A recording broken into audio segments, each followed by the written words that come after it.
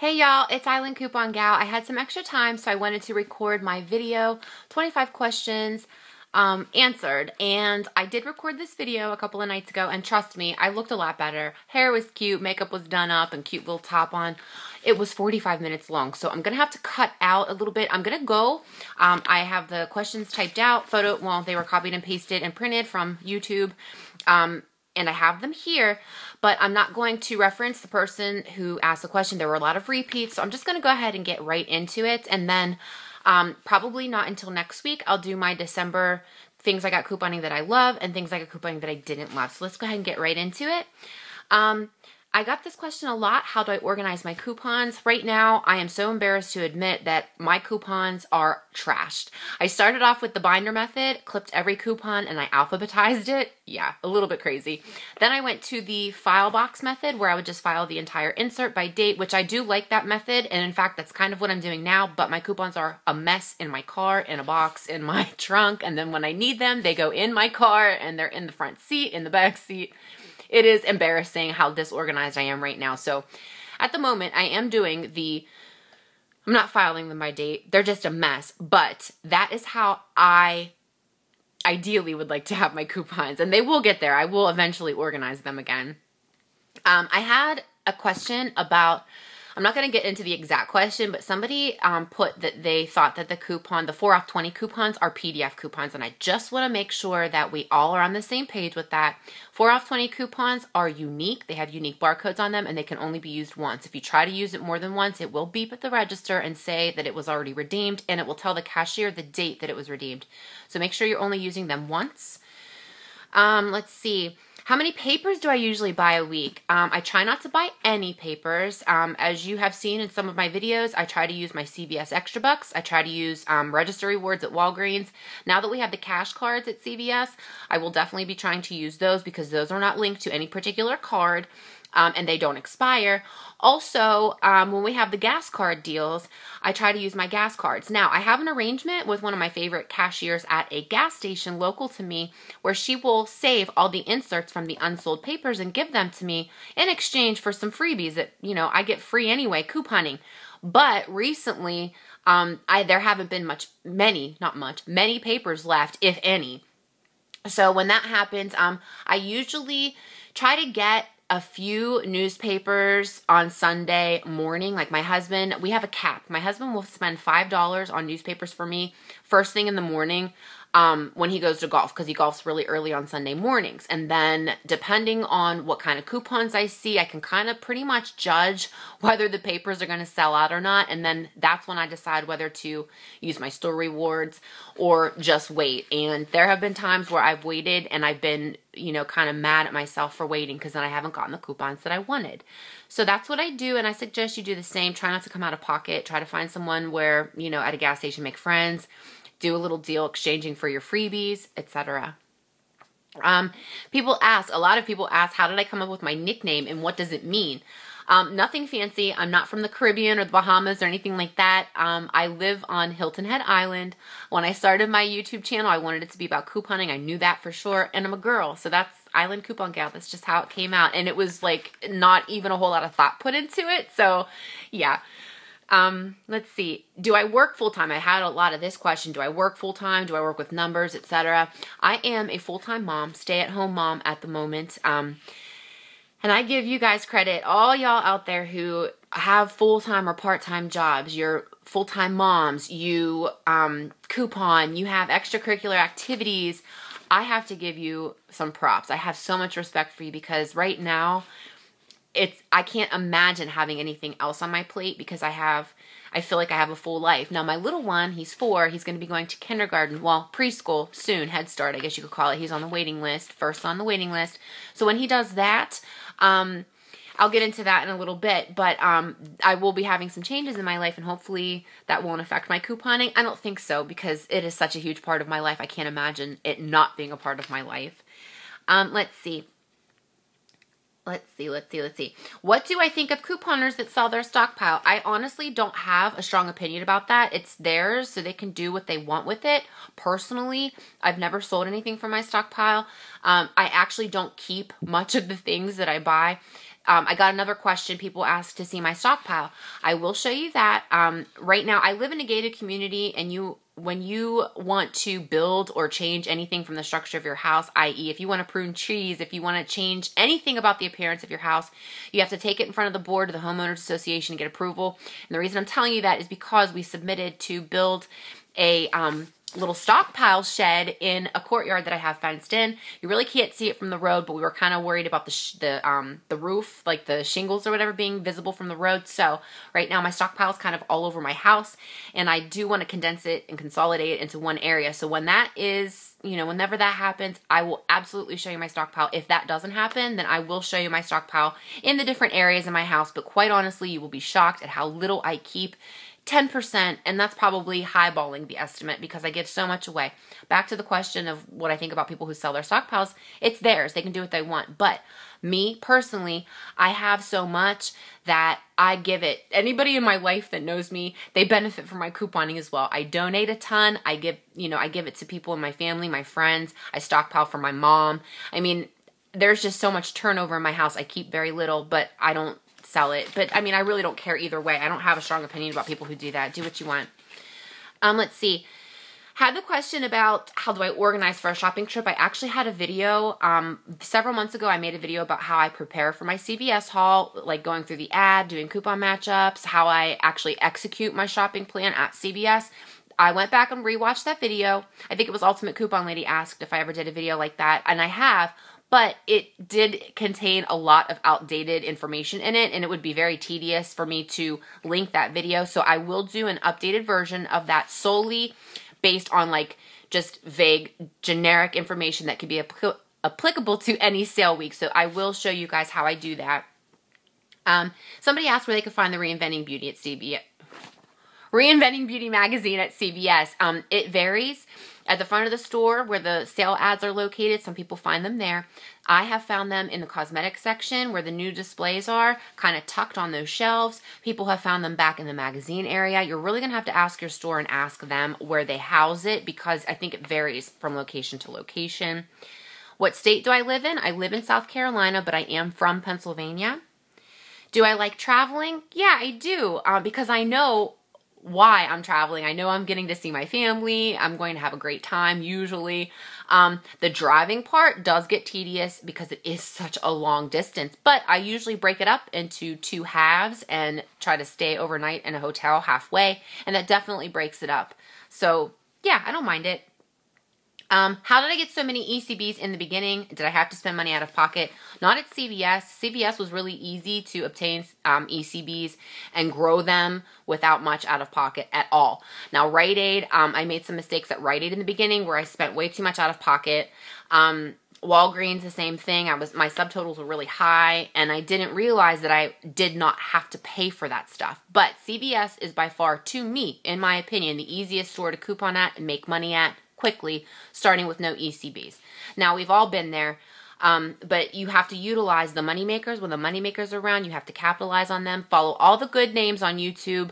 Um, I'm not going to sit and name them, but one of the greatest um, YouTubers that have like the smaller transactions so that you can roll your ECBs from one to the next is Pinching Pennies 2011 because obviously I'm at a point now where I don't have to split up my transactions. I can do them all at once because I have enough ECBs to cover my out of pocket. But you're not going to want to do that if you only have $10 in ECBs and you know your transaction is requires you $60 out of pocket in ECBs. You obviously do not want to pay $50 in cold hard cash even if you get back $1,000 in ECBs. You want to start where you have the least amount out of pocket, get your ECBs back and roll to your next transaction and you will get to the point if you keep up at it long enough that you will have enough to cover your out of pocket. And then you'll have ECBs to play with. So you can go burn some if you need to, like at the holidays time or birthdays, or just if you need something that you're out of. But hopefully, stockpiling will keep you from completely running out of anything. But um, yeah. Let's see. How do I keep so organized from week to week with my hauls? I am flattered that you guys think I'm organized because I feel so disorganized right now. And I believe it's because things aren't in order as far as like my coupons aren't in order, my rain checks are everywhere. I keep finding them tucked away places and Redbox coupons. I have so many freaking Redbox coupons saved and there's no method to that madness. They're just in a pile, in a stack, in a bag. I mean, they're just everywhere. But I do try to present my hauls to you in an organized manner so that they make visual sense to you. So as long as you guys are getting what you need out of my hauls, that's great. I'm glad you feel that I'm organized. But personally, I feel so disorganized. And I mean that, that I could be more organized and it would probably make my life easier. Um, let's see. How long have I been couponing and what made you want to do it? Um, I started couponing last year in February. I believe that's when my YouTube channel started. And so it's been almost a year.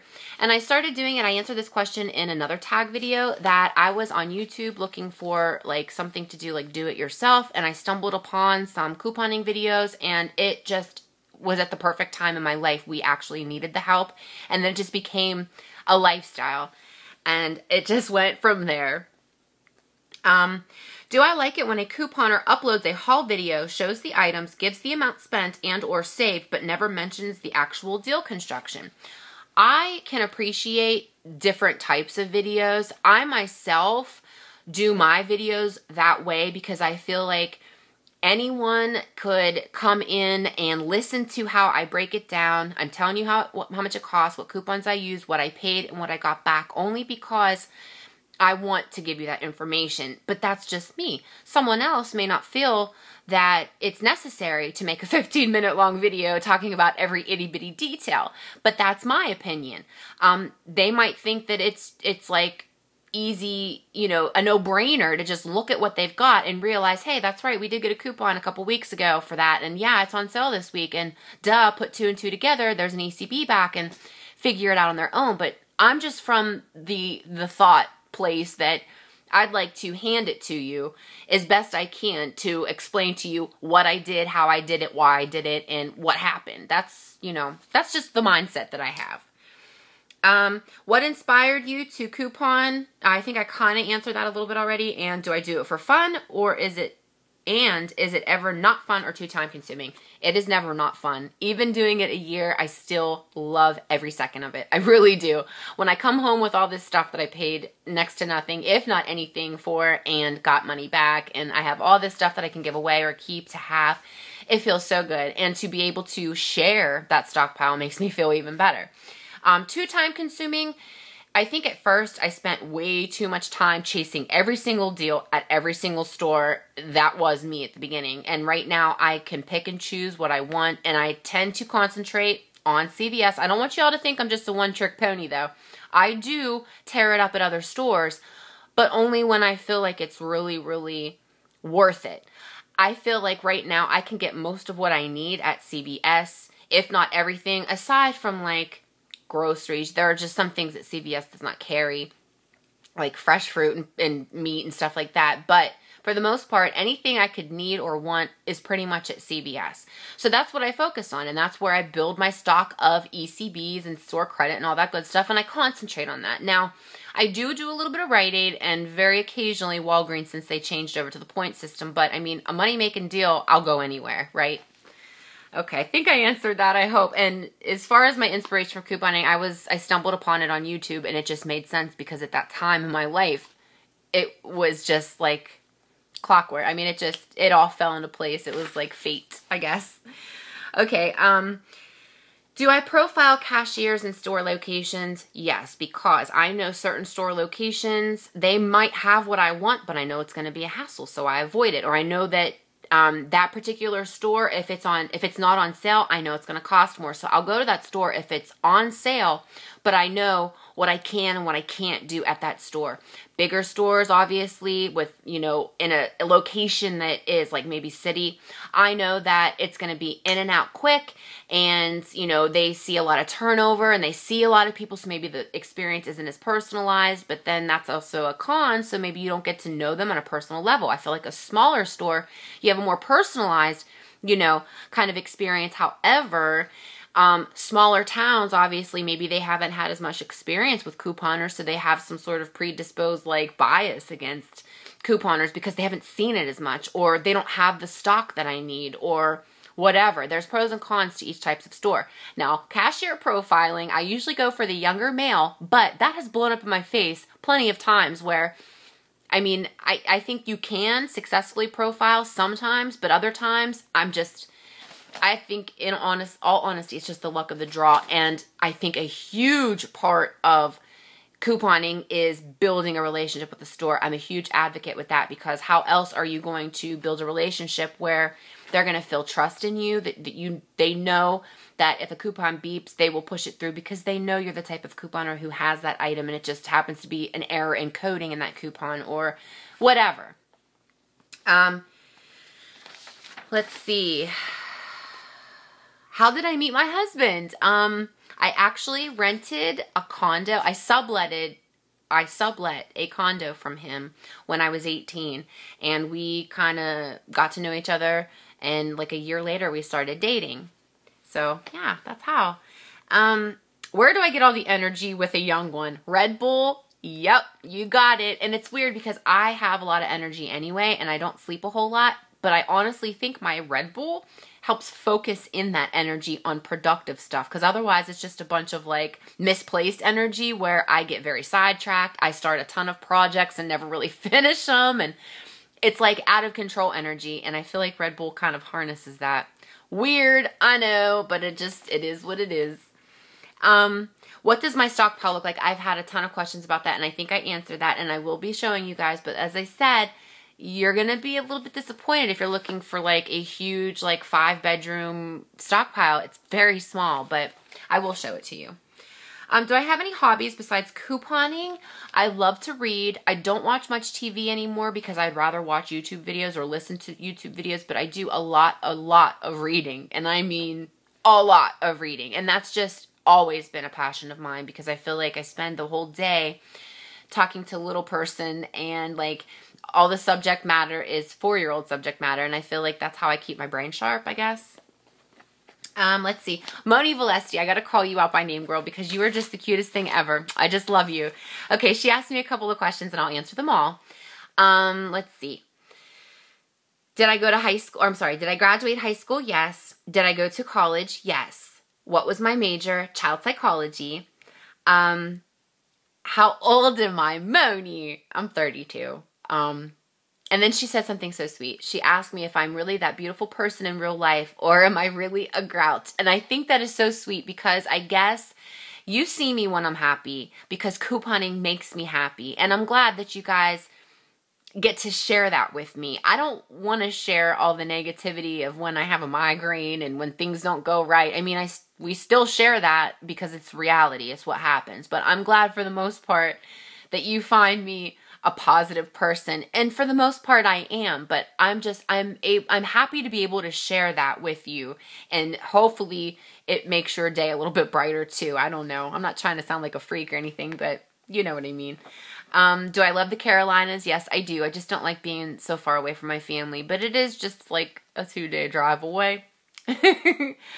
Um, do I have a bunch of girlfriends? Not so much here but at home, I guess so, yeah. But honestly, here I haven't met a whole lot. I have my sister in law, and she's got a lot of friends, and that's how I've networked, but like not people that I hang out with on a daily basis. It's just a different life. I'm sure you know, Moni, you're a you're a mother and you know how it is. And then when you're a couponer, what free time do you have? But I don't mind it. I am a very family oriented person and that's how I choose to spend my time. So I don't go out. I never go out actually.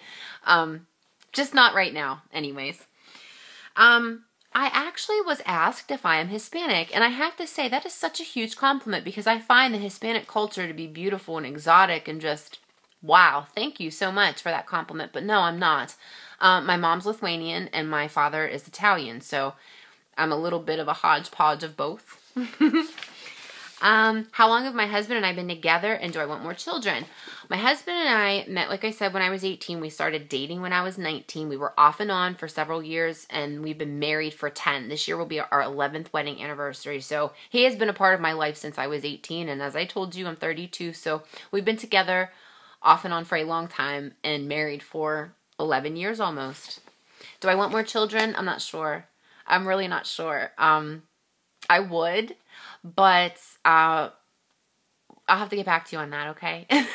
I would love a hundred children, but just right now, with the way my husband's work is, um, which is another question. Somebody asked what my husband does for a living. He builds golf courses, and that's why we came to this area. His family just happened to be in this area as well, but we came to this area because he builds golf courses, and this area also happens to have a lot of pre existing golf courses that he can work on, finish, refinish, you know, add on to whatever he does. I know what he does, but there's a lot in there's a lot entailed in what he does. But um right now there's always a chance of moving. So I just don't like the idea of bringing a lot of kids into that moving back and forth environment. That's just me because um it's hard with without a support system and I just feel like right now I'm content with the way things are. So so I just went way way too much into detail for a very simple question. Sorry. I'm a little like that. Let's see. Um what store do I like the most or least? I think it's kind of obvious that CVS is my baby love. Um, Walgreens is probably my least favorite, not only because of the coupon item ratio, but I have to pay so much freaking tax. I hate it. My state in particular, we pay tax on everything food, medication, medical supplies, everything that it seems like no one else has to pay tax on. So it really stinks. Um, I got this question a lot. Where do I get my coupons and how many CVS extra care cards do I use? I use two at the moment, mine and my husband's. There was a brief time where I had three because someone had a duplicate card and was using it of mine. Whenever we had the double buck sign up, I was issued a, a duplicate card, someone got it and was using it. So for a brief time until I spent all those ECBs up, I had to use those cards. Now I'm using the two cards, and my resolution is to pare down to one. But right now, with all these cash card deals, it's just too good to pass up because they're not tied. The cash cards aren't tied to any particular card.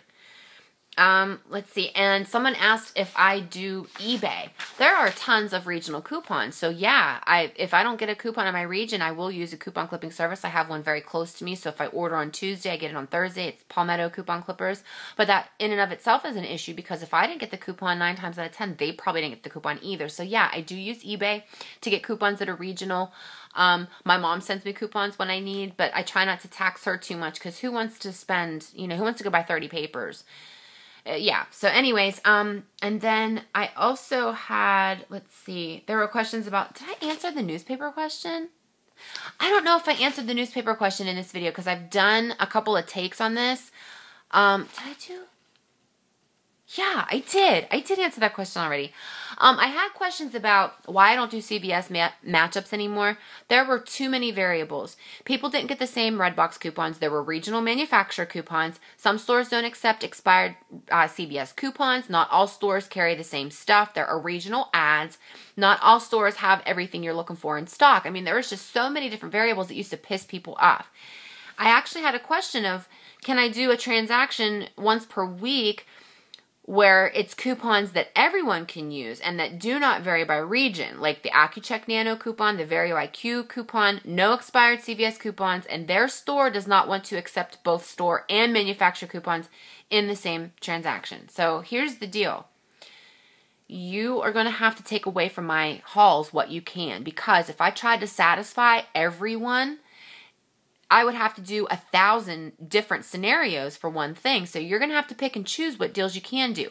I'm not going to not use an expired CVS coupon because you can't. Why would I not save that money? But that being said, I get where you're coming from.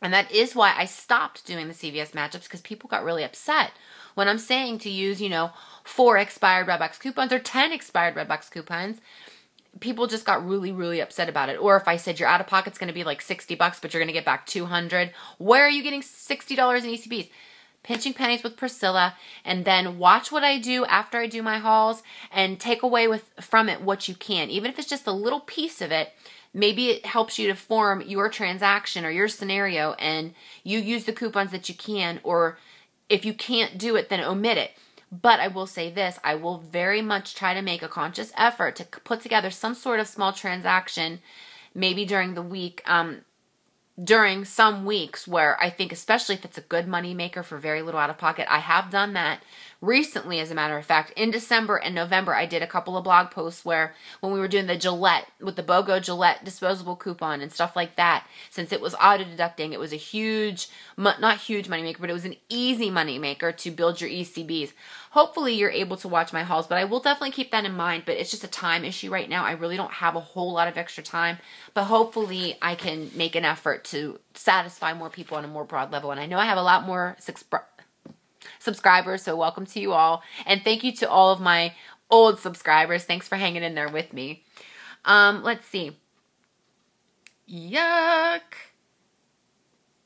If I won the lottery, would I stop couponing? Heck no. Heck no. What would I do if my stockpile disappeared or got destroyed? I'd start all over again. I mean, it would suck, but as I said, I don't have a huge stockpile to begin with. Um, I think that I'm almost out of time, guys, so I want to thank you all. Um, somebody asked me if I knew anybody at CVS or if I work at CVS myself. No, I only know the staff from couponing there. I've never worked there, and I don't know anybody that works there other than in that type of situation. But um, let me know if you want me to do more videos like this. Um, maybe separate from like personal questions and separate like couponing questions because I thought this was fun. And I mean, some people don't want to hear anything about my personal life, but they do want to listen about couponing. And some people who, you know, want to hear about couponing also want to get to know me better. And I would love to get to know you guys better. So definitely do this tag. I'm tagging everyone. I know when I tag like generic people that nobody really responds. So I may change my mind and tag people down in the description box. As a matter of fact, I may do that. I may tag just a couple and hopefully you guys will, you know, branch out from there and do the tag. I saw Soldier Girl do this who referenced Brian at the SP Nation. Thank you so much for this tag. Thank you so much for your questions, your awesome comments. Um, I love you all, and I will see you in the next video. Thanks for watching.